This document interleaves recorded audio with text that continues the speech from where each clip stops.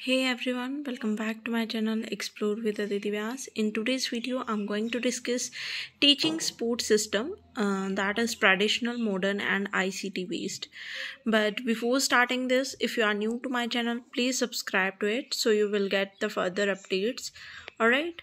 So, any teaching method or object which helps the teacher in building his or her capacity to teach learners effectively is called as teaching aid और teaching support system right कि कोई भी ऐसा teaching का method या कोई भी एक ऑब्जेक्ट जो टीचर को हेल्प करता है किस चीज़ में लर्नर को अच्छे से टीच करवाने में इफ़ेक्टिवली बहुत अच्छे से लर्न करवाने में, ठीक है, या उसे पढ़ाने में, उस चीज़ को हम बोलते हैं टीचिंग एड या टीचिंग सपोर्ट सिस्टम जो टीचर को हेल्प कर रहा है या उसे एक एड की तरह काम कर रहा है कि वो अच्छे से पढ़ा सके, ठीक है? तो अब इन टीचिंग सपोर्ट सिस्टम को हमने तीन कैटेगरी में डिवाइड किया है। The first one is traditional traditional जो बहुत लॉन्ग टाइम से चले आ रहे हैं। मॉडर्न जो अभी अभी इंट्रोड्यूस हुए हैं और आईसीटी बेस्ड जो कि हमारे कंप्यूटर बेस्ड हैं बेसिकली ठीक है? तो ये तीनों कैटेगरीज जो हैं वो डिफरेंट वेज के मटेरियल के साथ टीचिंग टीचिंग में एक स्पोर्ट का काम करती हैं, ठीक है? कि टीचर अपना काम अच्छे से कर पाए टीचिंग को अच्छे से कर पाए, उसमें एक स्पोर्ट प्रोवाइड करते हैं टीचर को। तो अगर ट्रेडिशनल टीचिंग स्पोर्ट सिस्टम की बात करें तो फर्स्टली ब्लैक बोर्ड आ जाता है, ठीक है? ब्लैक बोर्ड बहुत पुराने टाइम से चले आ रहे हैं, जो टीचर को अपनी जो चीज़ें हैं, जो मतलब टॉपिक वो पढ़ा रहे हैं, उन्हें एक्सप्लेन करने में हेल्प करते हैं, ठीक है? देन साइंटिफिक अपरेटस और साइंस लैब्स जब भी हम साइंस की बात करते हैं तो वहाँ पे लैब्स एक बहुत इंपॉर्टेंट रोल प्ले करती हैं ठीक है? जहाँ पर हम चीज़ों को आ, अच्छे से समझा सकते हैं एक्सपेरिमेंटली तो साइंस लैब क्या है? हमारी ट्रेडिशनल टीचिंग सपोर्ट सिस्टम में आती हैं ठीक है? स्टडी टूअर्स कि मान लीजिए आप कोई भी इंपॉर्टेंट टॉपिक पढ़ा रहे हैं मान लीजिए हिस्ट्री पढ़ा रहे हैं ठीक है?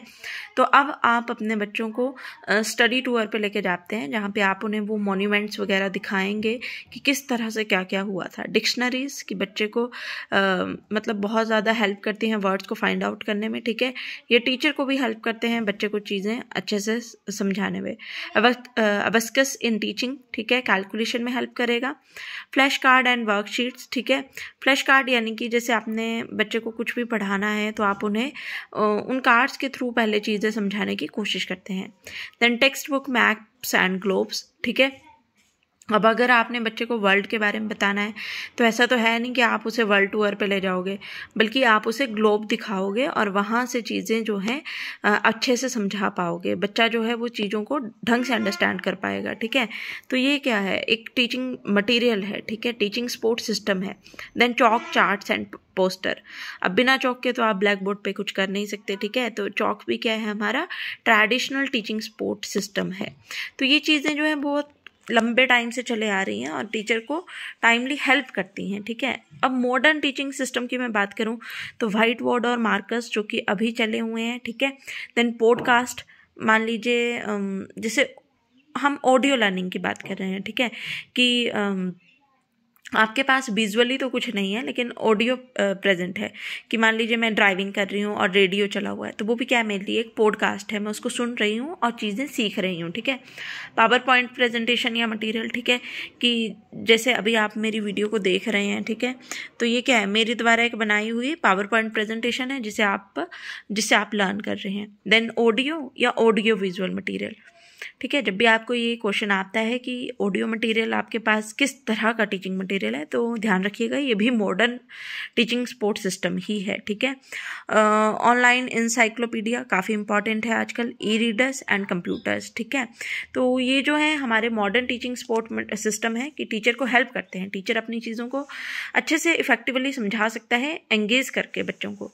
Then I C T based support material blended classroom कि आप पढ़ तो ऑनलाइन रहे हैं, लेकिन जो एग्ज़ाम वगैरह हैं, वो ऑफलाइन दे रहे हैं, ठीक है? तो ये क्या है? ब्लेंडेड क्लासरूम्स हैं, कि वर्चुअली भी आप पढ़ सकते हैं।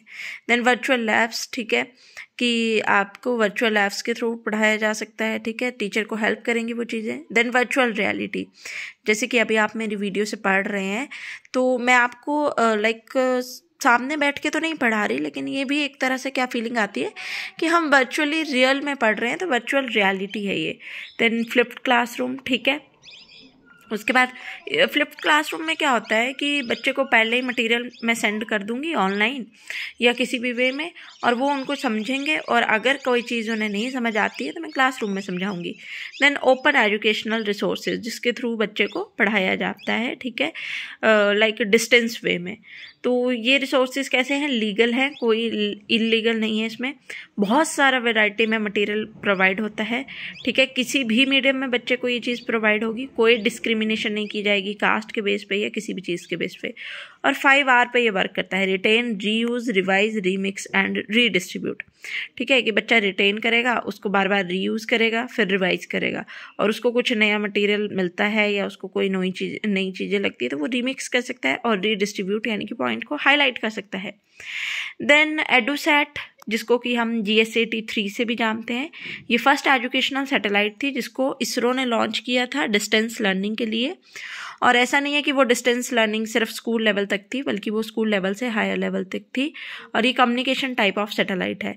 तो ये भी हमारा किसमें आ जाता है? टीचिंग स्पोर्ट मटेरियल में आ जाता है या ऑनलाइन टीचिंग वे में आ जाता है आईसीटी वेस्ट में।